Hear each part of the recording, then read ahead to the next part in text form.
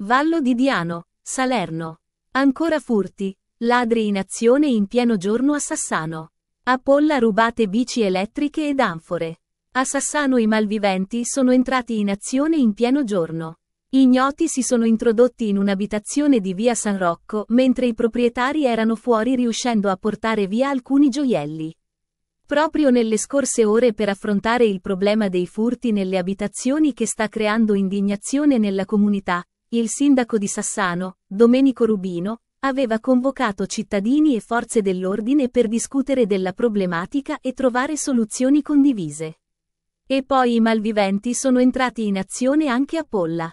Qui sono stati rubati pneumatici da alcune automobili, ma anche due bici elettriche e purtroppo i ladri sono riusciti ad introdursi anche in un'abitazione.